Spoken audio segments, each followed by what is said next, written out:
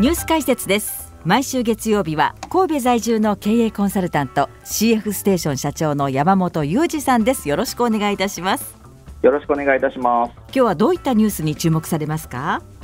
はい今日はですね迷走台風と言われる台風10号で、まあ、経済面がどんな影響を受けたのかなっていうところのお話をさせていただこうと思います。はい今までの中でも見たことないような動きをしましたよねそうですね。予想できないもともとはですねこれあの関西直撃かって言われてたので、ええ、結構あの早く早い段階で先週ですねもうあの関西直撃して前のあの関空の橋にですね船がぶつかって壊れたようなあの映像が流れてるようなことがまた起きるのかなと構えてたんですけど、ええ、蓋を上げてみるともともと予想しているところと全然違うルートを通ったりとかですね、え、なかなか進んでいかないなとかっていうこともあって。かなり台風の動きがまあ普段とは違うよねっていうことを、まあ、あの影響を受けたよなっていう感じでしたよね。はい、でこれあの8月の31日テレビ朝日でもですね、まあ、あのありましたけども、まあ、今回、その台風の影響でですね、まあ、いろんな側面で経済面で影響を受けているところが出てきてるよねっていうことが、まあ、まとめられてたんですけどもね。ええ、やっぱりあのまずあの JR 各社がですねやっぱ計画運休をまず実施したっていうことがあったと思うんですよね。はいでこの JR 各社が、まあ、あの安全面を考慮してあの計画的にあの運行をやめるっていうことは、まあ、非常に大事なことなんですけど、一方でですねやっぱ運べるものを運べなくなった損失っていうことでいうと、うん、やっぱ売り上げが下がるということがその裏側についてきてる話なんですね。でまあ、これに伴ってっていうこともありますが、やっぱりその例えば京都のような観光地でもですねこの8月の末の書き入れ時にあの京都駅の近くにビーガロイヤルホテルっていうところがありますが、ここもですね8月の25日から31日までの間で、まあ、やっぱり450件以上のキャンセルがあってですね損失額1800万円以上出てるというような記事も出てるんですよね。でまあ、あの兵庫県のですねあの神戸の西側に姫路というところがあるんですけどもそこで駅弁を作ってる有名な会社さんで招き食品なんていうところがあるんですけどもね。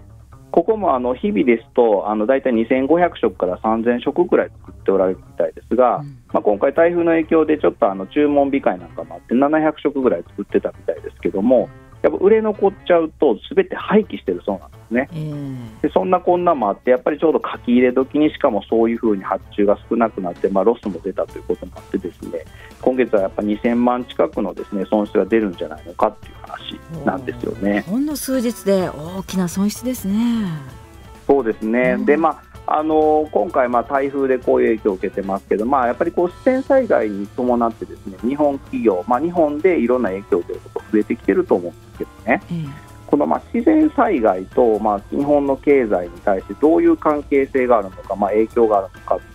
ちょっとまとめてる記事ないかなと思って調べてみたらですねあの今年の1月18日日経新聞にですねちょっとアメリカの評価機関が気候変動とその災害損失っていうのの日本企業はどんな状態になるのかっていうことをですねちょっと予測している情報があったんですよ。でこちらをちょっとご紹介しようと思うんですけどね。はいあの分析ではですね、まあ、世界の平均気温っていうのが、まあ、産業革命前に比べて長期的に何度上昇するかということで温度区分しながらですねあの企業価値がどういうふうなあの影響を受けるのかということを整理してるんですけども、うんパリ協定の目安のですね例えば1.5度上がりますって言った時にですね日本企業はマイナス7%ぐらい企業価値が損失するという話になってるんですよね。で2度になると9%、3度から5度上昇していくと、まあ、14%から20%ぐらいのマイナス、企業価値がそれぐらい下がるということで、かなり大きな割合になってるんですよね。でこれあの、逆に日本を除く先進国っていうところで見てみますとね、1.5度だとマイナス2%、2度だと3マイナス3%、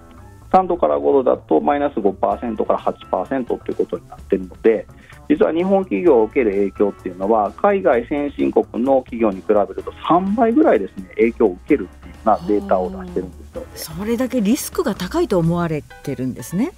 そうなんですよね。うん、でこの悪影響を及ぼす大きさとしてはですねあの順番に洪水があって猛暑があって台風ってこういう自然災害の影響が、まあ、企業価値をに影響する度合いとしてはあるんじゃないのかということであの出てきていましてね、はい、でこういう日本企業がなぜ災害とかこう異常気象の損害影響を受けやすいのかっていう理由としてはですねやっぱりこうもともと高温多湿という好条件があるということとやっぱ他の地区に比べるとやはり台風の影響の大きさはかなり多いよねということが出てきてるんですよね。うんでもう一つはですねあの沿岸部に結構事業関連施設多いよねっていうのは出てるんですよね。ですので先ほど、まあ、悪影響を及ぼす要因として洪水とか猛暑、台風って洪水はやっぱり沿岸部に施設があると全部使っちゃったりとか、施設がダメになっちゃうケースがあると思うのでこういう影響自然災害の影響をもろに受けやすいっていうところのまあ、立地の問題とかですねこういった側面もどうもまあ配慮として、まあ、影響として出てきそうなんじゃないのかなということみたいなんですよね。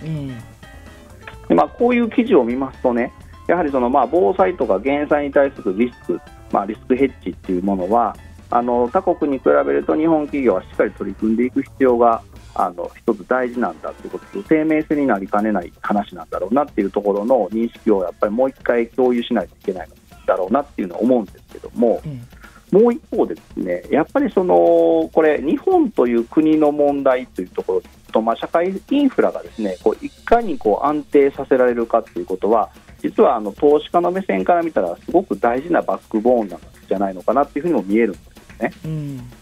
今回あの、特にその台風がその局所的に影響を受けるっていう、まあ、概念を崩してですね台風と全然違う地域で台風による影響を受けている、まあ、あの線状降水帯の発生とかですね、まあ、こういうことがまあ結構起こったっていうこともあって、うん、台風から離れた東海道新幹線が止まったっていうこともあったと思うんですけどね。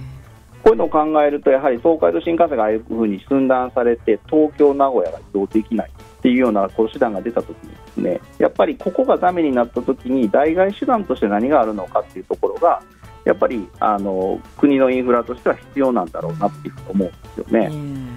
で例えばですけども今、まあ、あの金沢の方を向いて走ってるこう東京、金沢で走ってるその北陸新幹線今、敦賀までも出てきてますけどもこれ敦賀から大阪までどうするのって話が、まあ、あの関西ではよく議論されてくるんですけどもこういった時にやっぱ経済便益がやっぱり利益としてしっかり出ないとやっぱ巨額投資はできないっていう、まあ、当然発想の中でですね物事考えられるケースは非常に高いと思いますけどもこういう防災とかですね国土のインフラ安定化ということを考えた側面の時にそれだけで判断していいのかっていうのを、まあ、今回突きつけられているような感じがするんですよね。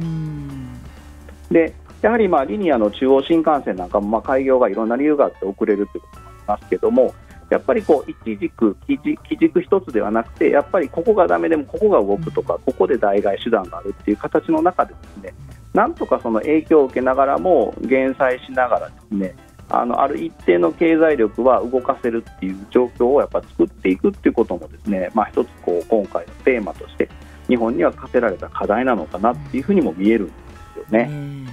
まあ、そういった意味ではですねやっぱりその巨額投資に対するいろんなこう、まあ、意見っていうのもありますしそんな大きなものにお金を使って後で借金返せんのかっていう話はもちろんあるんだと思いますけど、やっ日本がやっぱ経済成長国としてこれからも先進国の中に残っていこうとしたときにですね海外からやっぱ投資をしたくなる国であるということの場合にですねやっぱこのインフラっていうものに対してどう考えるかっていうそういう側面もですねやはり必要なんだろうなっていうことをまあ、今回、瞑想台風でいろいろ教えてくれてるんじゃないのかなという感じはいたしますよね。そうですね長い目で見て考えると、うん、日本自体の投資の評価になるからものすごい損失になるということですね、うん、手をつけないでいると。ってことなんですね。そうですね。うん、やっぱりこう自然災害ってなかなかこうあの自分たちでこう抑えることは難しくなってきていますので、えー、起こった時にどう対処するのか、起こってもある一定の経済をちゃんと回せるまあ素地を持っているっていうところがですね国の評価になったりしてくる、まあ投資の対象になってきたりとかするっていうことで考えるとですね。